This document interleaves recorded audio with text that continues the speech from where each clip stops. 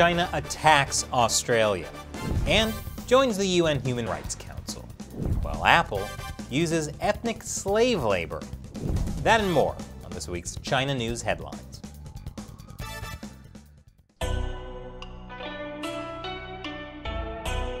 Welcome to China Uncensored. I'm Chris Chappell, and I need your help. YouTube has been secretly unsubscribing people, demonetizing us, and not recommending our videos. So please, hit that like button, share this episode, and support us on patreon.com slash China Uncensored. Revenge!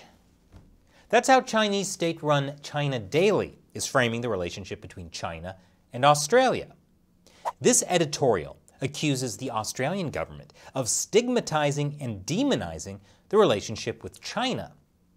Keep in mind, this is coming from the same regime that called Australia the poor white trash of Asia and has launched a trade war against Australia for political grievances.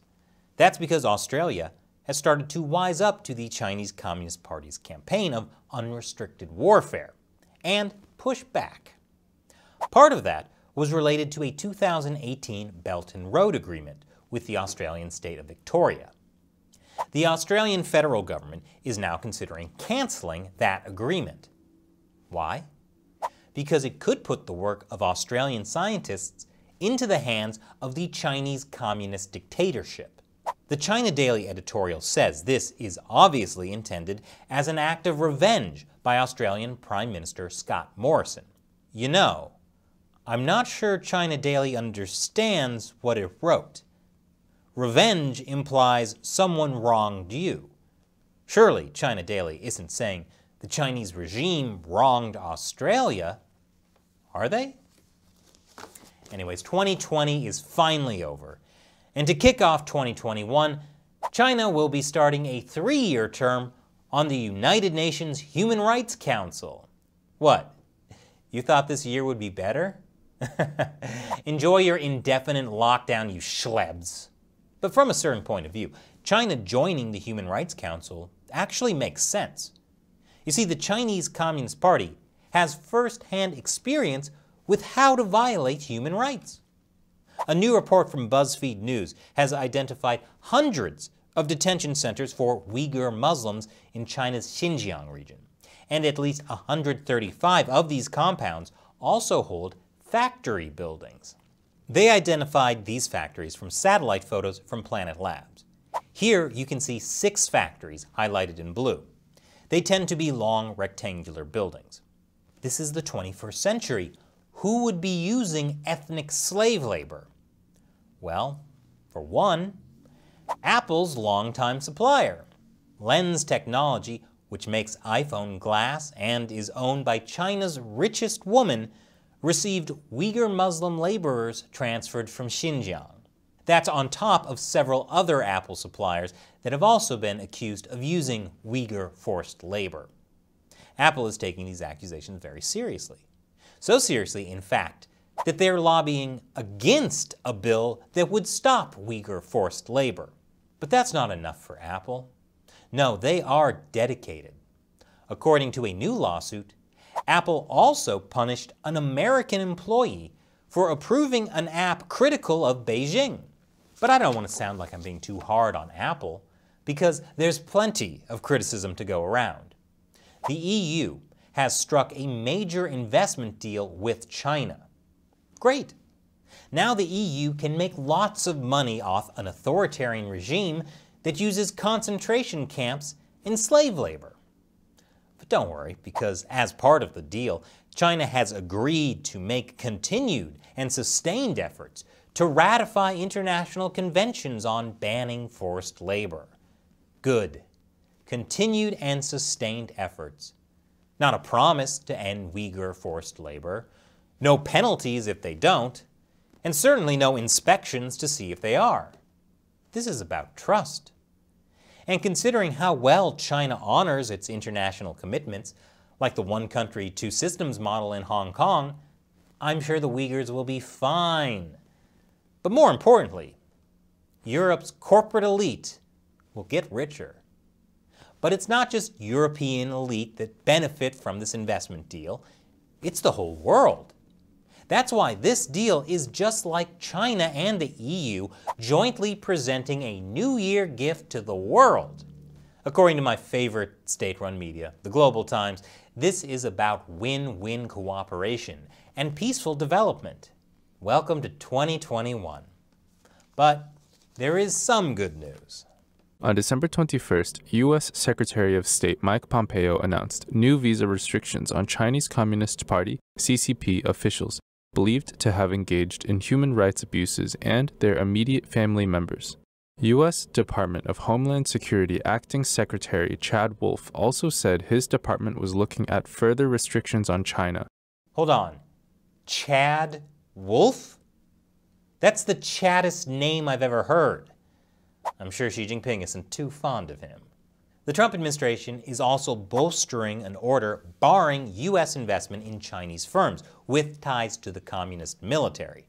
In a statement, Secretary of State Mike Pompeo said the executive order applies to all transactions by U.S. persons, including individuals, institutional investors, pension funds, university endowments, banks, bond issuers, venture capital firms, private equity firms, index firms, and other U.S. entities, including those operating overseas.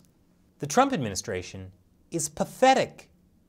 They really should take a cue from the EU about how much money can be made in China.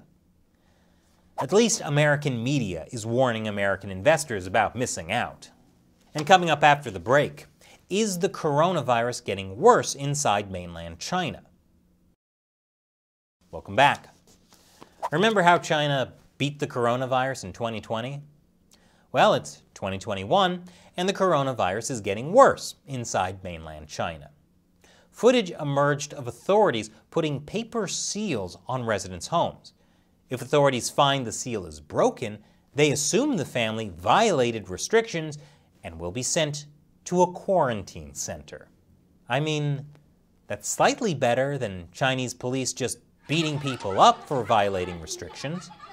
It's hard to know how bad the CCP virus is inside China right now. Of course, it's hard to know how bad it's ever been. But according to a new study, half a million people may have had the CCP virus in Wuhan. That's almost 10 times the official figure. Now, what's really scary about this study is that it was done by the Chinese Center for Disease Control and Prevention. That's run by the state. And so if China's CDC is saying the outbreak was 10 times worse than official figures, that suggests to me that the numbers are actually even higher than that. So high that they had to increase the official figures because they couldn't cover it up. But at least from a certain point of view, China did beat the coronavirus. Speaking of the coronavirus, it turns out that the Chinese Communist Party has been suppressing coronavirus research. This is my shocked face. The party is giving money to military scientists researching the coronavirus, but it is also monitoring their findings and mandating that the publication of any data or research must be approved by a new task force controlled by Xi Jinping. Basically, the documents show the coronavirus cover up goes right to the top. And meanwhile, the Chinese Communist Party is still trying to control the narrative by claiming that the virus didn't come from China, including from imported frozen foods. Like I said, it was pizza rolls all along. The 10 Hong Kong activists who were arrested after attempting to flee the city on a speedboat have been sentenced. Keep in mind, these Hong Kong citizens were held and tried in mainland China which is exactly what last year's protests were originally trying to prevent. The activists were sentenced to up to three years in prison. Maybe the UN Human Rights Council should look into this, and their newest member can help. The sentencing of the 10 Hong Kongers follows this. A Chinese citizen journalist has been sentenced to four years for reporting on the CCP virus. Zhang Zhan is a former lawyer. For several months, she shared videos that showed crowded hospitals and residents worrying about their incomes. But for challenging the state's official narrative, she got four years in prison. She really should have just waited until the CCP realizes it can't keep covering things up and changes its official narrative. One of Zhang's lawyers said she's been on a hunger strike since June to protest her arrest because she was punished for exercising her freedom of speech. When told that she could be imprisoned, Zhang quoted a passage from the Bible and said she would expect herself to die in prison. You can't help but admire that courage while also being horribly sad. But coming up after the break, there's actually some good China news this week, coming from America. Welcome back. To end the week on a positive note, there's some good news related to China. It comes as President Trump signed a massive omnibus spending bill on Sunday, which we talked about on our other show, America Uncovered. One of the dozens of random bills crammed into it was this. Starting on page 5037, the Taiwan Assurance Act of 2020. It says the U.S. should conduct regular sales and transfers of weapons to Taiwan in order to enhance its self defense capabilities, including undersea warfare and air defense capabilities. This bill represents a renewed U.S. commitment to lend military support. That's important because Taiwan is facing more and more threats from the Chinese military, which I'll talk about in a special episode tomorrow. The bill also says the U.S. should advocate for Taiwan's participation in international organizations, where statehood is not a requirement. That includes the United Nations and the World Health Organization. I just hope the U.S. can get Taiwan back into BirdLife International, the birdwatching group that kicked Taiwan out back in September after facing pressure from Beijing. I really don't think bird life should require statehood for members. I mean, they don't require it for the birds. And speaking of things crammed into that omnibus bill, let's flip to page 5090, the Tibetan Policy and Support Act of 2020. One of the cheeky things it does is seek to establish a U.S. consulate in Tibet. And if the CCP won't allow that, which of course it won't, then the U.S. won't authorize any new Chinese consulates in the U.S. So there. The bill also allows the U.S. government to sanction individual Chinese officials who violate human rights in Tibet. That includes officials who interfere with the reincarnation of the Dalai Lama. Not kidding. For more than a decade, the atheist Chinese Communist Party has sought to regulate Buddhist reincarnation. Their long game is to eventually pick a future Dalai Lama who they can make into a CCP stooge. After the Tibetan Policy and Support Act passed on Sunday, China's foreign ministry wasted no time insisting that reincarnation of living Buddhas, including the Dalai Lama, must comply with Chinese laws, and that the U.S. is interfering in China's internal affairs. But really, when it comes to reincarnation, isn't China interfering in the universe's internal affairs?